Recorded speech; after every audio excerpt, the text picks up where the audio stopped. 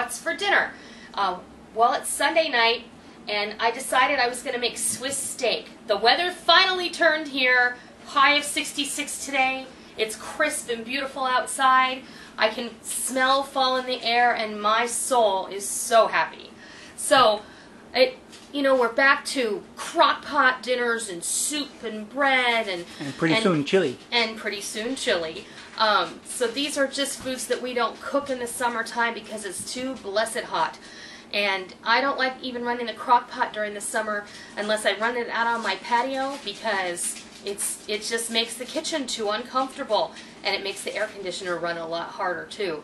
So I have my crock pot heating up over here and that is something I do like to do. Um, I don't like to put them, you know, things in a hot in a cold crock pot, but because we're going to pre-cook this meat, we're going to put it in a warm crock pot. So I have that preheating. And I also have my cast iron skillet over here preheating with about a quarter of a cup of vegetable oil. And let's see what else goes into this. I have about two and a half pounds of cubed steak here. Um, this is a very budget conscious, wallet friendly piece of meat. You can usually get them very inexpensively, and I actually got them with a markdown discount because they were close to their expiration date. I love it when I get markdown meat at the grocery store. It makes it even much, all that much better when you sit down to eat your dinner. And I'm making a lot because I plan on having this as a leftover meal for Wednesday night. We're going to be using, we're going to dredge the steak in some flour, which I have seasoned with salt, ground cracked pepper, onion powder, and garlic powder. We're going to use a 28 ounce can of diced tomatoes, about a cup or better of sliced celery, a medium sized onion that I've halved and sliced, and then the sauce makings. I have two packets of onion soup mix here, and I know I'm going to get comments. I don't care. This is the way I do it, and this is the way we love it. So this is one box of onion soup mix. So at best, this is a dollar if you get the store brand, maybe less. I think I paid 87 cents for this box. Here's a cup of ketchup, three to four cloves of chopped garlic, a tablespoon of tomato paste, which I squeezed from my tube, a tablespoon of Worcestershire sauce, and here I have a teaspoon of regular unsmoked paprika and also a teaspoon of Italian oregano. So, I'm going to move our flavors out of the way here. And our vegetables and concentrate on our meat. You can dredge your meat any way you like, whether you like to do it in a plate, uh, in a pie plate. Sometimes I do it in a pie plate. Today, I'm just going to toss this. I put my flour in a Ziploc bag because I thought it'd probably just be quicker and less messy. So I'm going to grab another paper plate.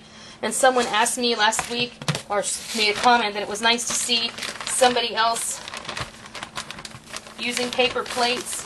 And I'll tell you what, if I didn't have Why paper not? plates, it would just be a messier world. This makes sense. And I know, you know, some people think, and not necessarily my viewers, and that's okay. Everybody has their own way of living their life, and that's fine. This is just a, a convenience. Um, it can be expensive, you know, to buy the better ones, but I gotta tell you, I love me some paper plates. Oh, and I, I wanted to give you a little background on Swiss steak. You know, Swiss steak is really a throwback um, to World War II um, when we were on meat rations and we were eating, you know, budget conscious cuts of meat. You know, the, the cube steak is really something that isn't very good unless it's cooked for a long time, slowly, um, and tenderized. My, you know, Molly asked me, so where's the cheese? There cheese in it because she heard Swiss and thought, um, oh, well, it must have Swiss cheese in it. That's why it's called Swiss steak. Well, no, the reason it's called Swiss steak is because of the process of tenderizing the meat in the butchering world is called Swissing. And that's where they run it through a cubing machine that has blades. And you can see the meat has long cuts in it. Well, they're short blades, and they, they, run these steaks through what they call a, a cubing machine But the process of that is called Swissing the meat. So that is why this is called Swiss steak, because the meat is Swissed. So it's really a verb. Okay, I never knew that. I bet a lot of people I just didn't know thought It that. was just a style from Switzerland or something. A lot of people think that it's called, you know, but if you look at the cuisine of of Switzerland, this isn't really something you would find. A lot of people just think, "Oh, Switzerland," because that's where that's the first place your mind goes to when you hear Swiss. Mhm. So now I have to get all of these meat paste and flour off of my fingers. And I have my oil preheating over here on the stove top. And the best part about using the bag with the flour in it, it didn't get all over my counter, or it didn't get all over my counter as much as it would have if I hadn't used the bag. Then we just throw the bag in the garbage can. She still made a mess. What did you say? Nothing. I'll find out later when I edit the video. Don't worry. Alright, so I'm going to carry this over here. And I'm going to get my tongs. We're just going to brown off the steak. I'm going to put them in there until it's brown on one side. And then I'm going to turn it, brown it on the other, and then I'm going to put it directly into my warmed up crock pot. When I am done doing that, I will come back and show you what happens next. Okay, we're back, and Rick is showing you the inside of the crock pot. I've browned off that meat, and now we're left with this pan full of oil and rendered goodness. And what we're going to do with this is we're going to saute our vegetables. And I had let the pan cool off just a little bit because I was doing something. I'm going to put in our onions and our celery. And then what's going to happen here, whoops, don't toss it on the floor, is that the juices from these vegetables are going to loosen up all these brown bits on the bottom and we're going to put those right in the crock pot with it. Um, you don't have to do this if you don't want to, but this is an easy way to clean your pan, and since you have the vegetables out already and the pan is hot, that will work just fine.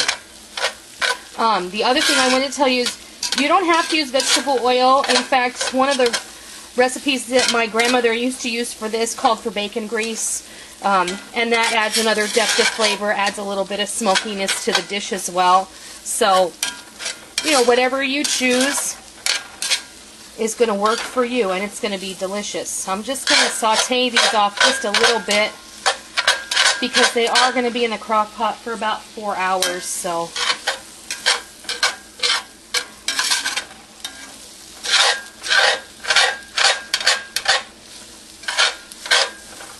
And I'm just trying to loosen up the, the brown bits that stuck to the bottom of the pan.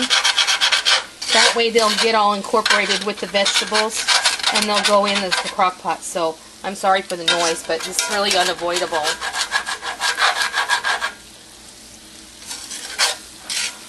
Because just like fat equals flavor, brown equals flavor.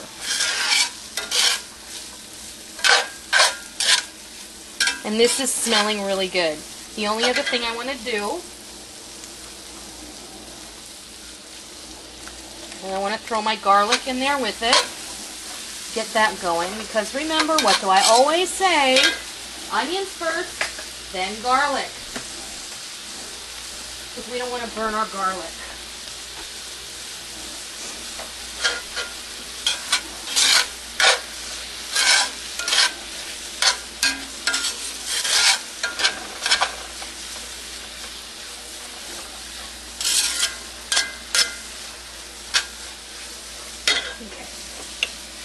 Then I'm going to go ahead and put my oregano and my paprika right in there. This is going to help to bring out the natural oil, essential oils in the spices. And it's going to flavor the dish even further. Anything you can do to bring out the flavor in something is going to be a bonus. Oh my goodness. It smells. You just got a, waft, a, whiff, a whiff of that um, paprika and the onion and the garlic is so fantastic. Okay, and there goes my tomato paste. Every last goodness, every last bit there.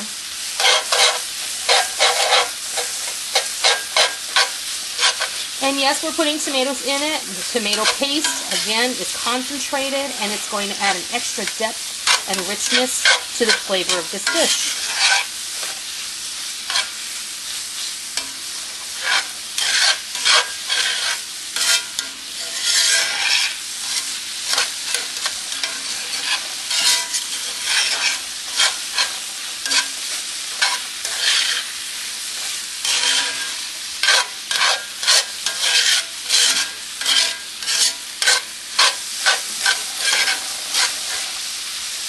Okay, now, let me get these out of the way.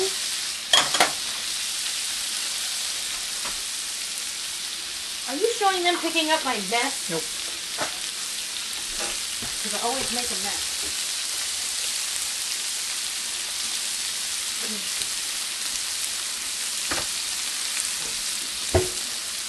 All right, now the tricky part here. Let's see, let me get a spoon.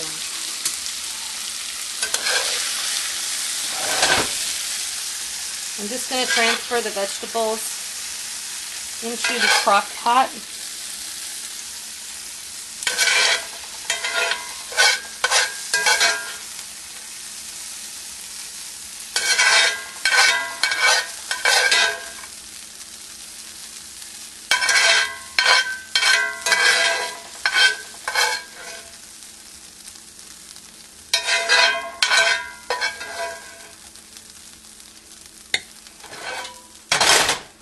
All right. Now, we add our can of tomatoes. And I'm probably going to need this spoon.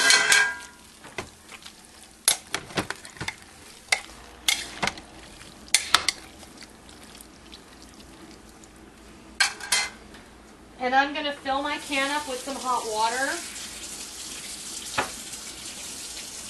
But first I'm going to put the onion soup mix in the can to get it just dissolved a little.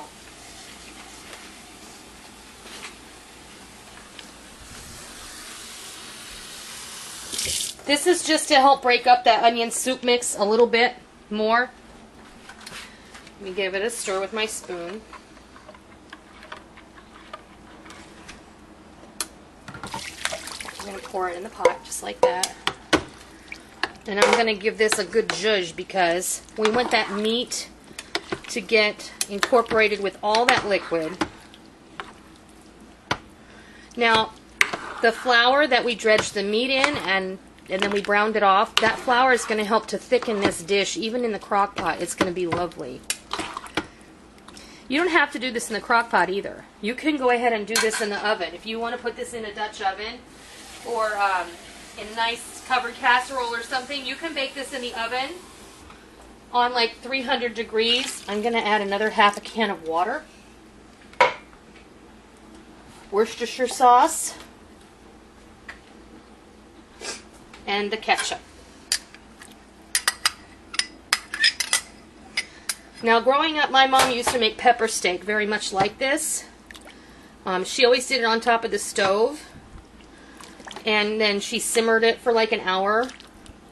And she would make the sauce with beef broth and ketchup and diced tomatoes. And she would cook the meat exactly the same way. And then, toward the end of the cooking process, she would slice an onion and a large bell green, green bell pepper, and she would slice it thinly. And then she would throw the onions and the green peppers into the pan with the simmering meat and then let that cook for another 20 minutes and then we would have it over mashed potatoes or rice. And that was always a favorite in our house growing up. Okay what we're to do now we're to put the lid on. And we're to forget about this until supper time in about four hours it's about 2.30 right now so i say in about four hours is going to be perfect i have my crock pot set on high and I'm going to make, I'm going to do a lot of things in that time. I have to can some chicken stock, and I have to do some other work on the computer. We're going to make some mashed potatoes and some corn to go along with this meal. And when it's time, I'm going to bring you back, and we're going to fix your plate, because I know you're hungry. I'll be back in later. Okay, we're back and it's time for supper. And I wanted to show you. Uh, I know people have been sneaking tastes of this in this afternoon, but this is Not fork me. tender. This it just breaks right apart. It's gonna be delicious. I made some corn and some mashed potatoes, and you know what time it is?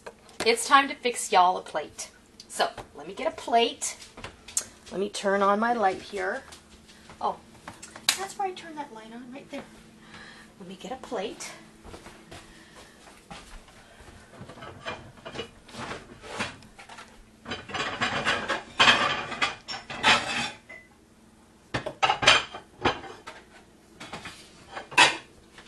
And we'll serve you up some of this Swiss steak.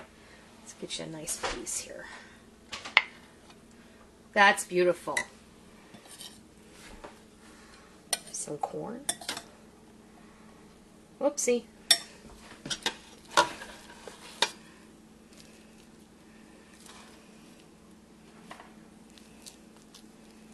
Okay. And I think we want some sauce on our potatoes. And I'm making a big old mess. Okay.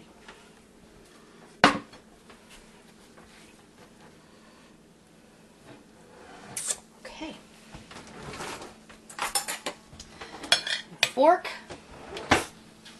There you have it.